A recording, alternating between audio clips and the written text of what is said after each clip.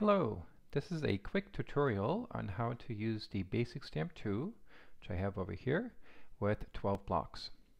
I've installed 12Blocks from this website, and my Basic Stamp 2 is turned on and connected to the PC with a USB cable.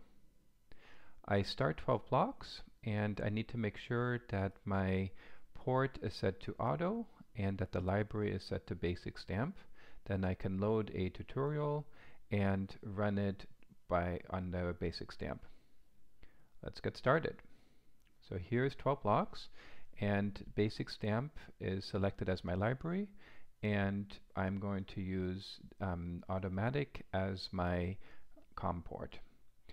Now I'm going to start a tutorial, the blink tutorial. There's an LED attached to my basic stamp connected between pin 0 and VSS and I'm going to start with a start block.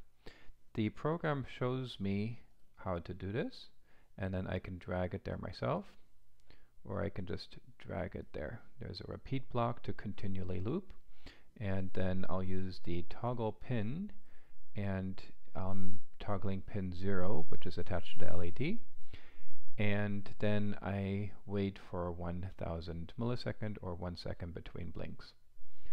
Okay, so it tells me I'm all done. And now I press the run button to load this program. And you can see that the LED blinks at um, every one second it changes. I can change these parameters. So here's a faster blink.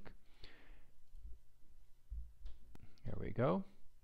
And I can also add some more blocks to this program. So I'm going to add an if to the program and I have a wire connected to pin 2 so I'm going to see if pin 2 is connected or not by using that and so now the LED will blink whenever pin 2 is um, connected is not grounded. Thank you for watching.